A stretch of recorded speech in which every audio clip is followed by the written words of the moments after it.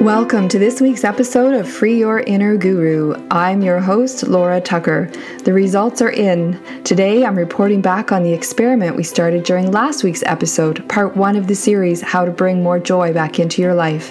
If you didn't catch it, no worries. I've got a quick recap for you before we dive in. Have you ever had the experience where just as you are about to take action towards a new, bigger, better result that is close to your desires, that you are met with uncanny amounts of resistance?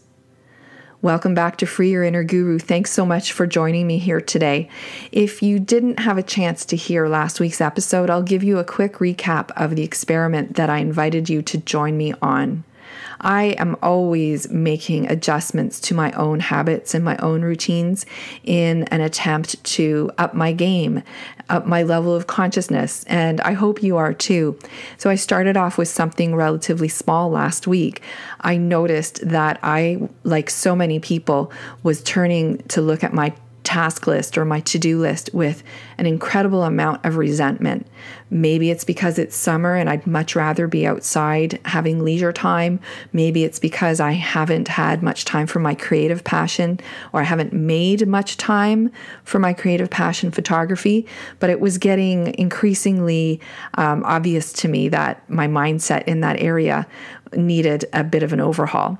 So I encouraged you to join me on a similar and on an experiment to mitigate some of this and to raise the energy of the entire situation. So I chose as my um, activity that I can't avoid but um, have some negative energy around, I chose grocery shopping. To me, grocery shopping is drudgery. I don't get a lot of joy out of it traditionally. And I chose photography, and I realized that if I were traveling, I would probably be going out to all these interesting markets and taking pictures of different parts of the city that or area that I'm in. And yet I don't do that here in Toronto as much as I enjoy street photography and as well as just outdoor photography. So my plan was last Sunday morning to get up early, grab my camera, not my phone, but my actual big camera, the one with all the detachable lenses, head down to the beach, take some pictures, then go on over to a farmer's market in a, an area called Leslieville. So I packed up my bag, made sure all my batteries were charged, and got things ready the night before. I was quite looking forward to it, which was evidence that the shift would be real. And um, so I get up in the morning, and much to my surprise, I couldn't move my neck. I must have slept awkwardly.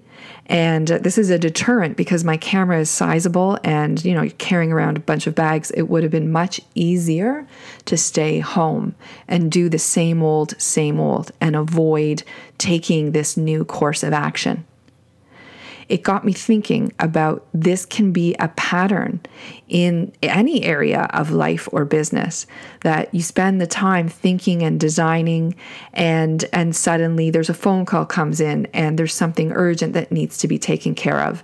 Or you go to start a new um, physical regime and you stumble and fall and scrape your knee to bits. So it makes it very difficult for a couple of weeks. All of these things have happened to me. And I needed a good reminder that this was a form of resistance.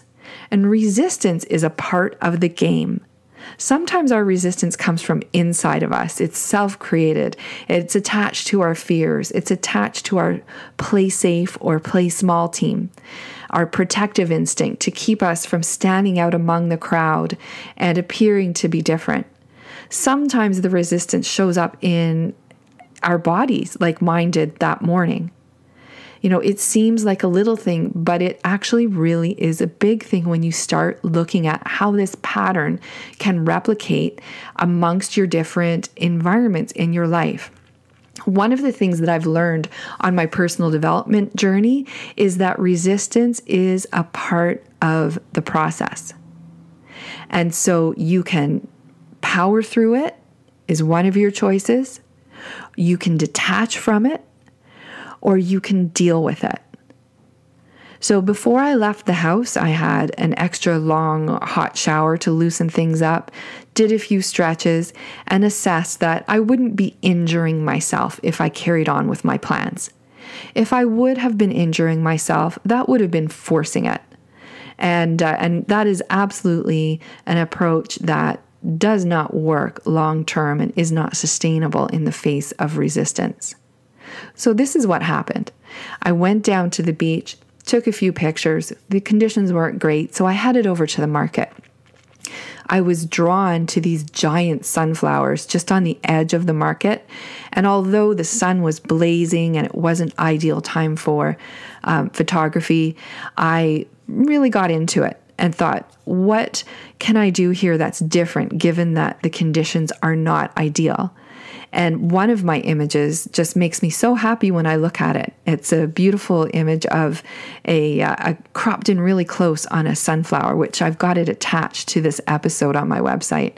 So out of this endeavor, I got one keeper shot um, that that makes me smile when I look at it. So that's a great outcome. But then when it went on from there, and I truly believe the reward of being conscious of the resistance and taking care of my body to the best of its abilities or my abilities, and then gently moving forward created a great opportunity. When I got back from dropping my camera off in the car with my shopping bags, the very first vendor I came across at the farmer's market was a massage therapist. Now, this was early Sunday morning, in my normal life, massage is not available to me early on Sunday morning. And so I just looked at her and I laughed and I she saw me there and I said, "You must be the reason that I'm here today." So 10 minutes later, there I was on her massage chair getting my some the help that I needed to shift the energy around my neck and shoulders.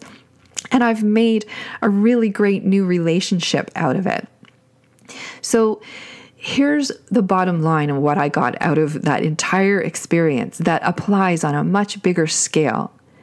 When you can look at your resistance, detach from it, and not react to it emotionally, I could have chosen to be frustrated, angry, feel sorry for myself, feel bitter. Oh, look at me.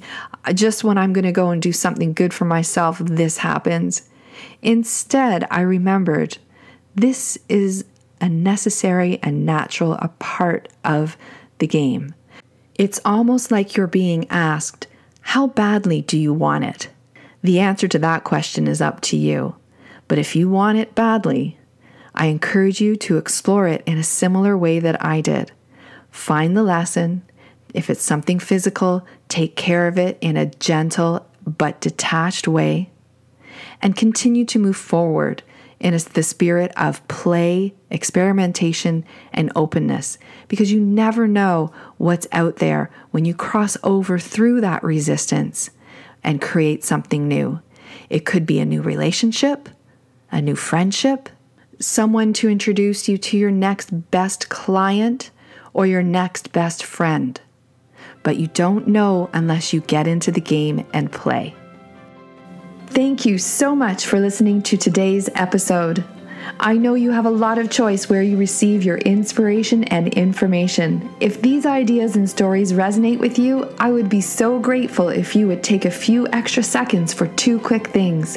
One, if there's an idea or moment in the story or conversation that you feel would make a difference in someone else's life, take a quick moment to share on whatever app or website you're listening on. And two, subscribe so that you can become part of the ongoing conversation. Big conversations become the catalyst for meaningful change. I'm Laura Tucker, signing off for Free Your Inner Guru.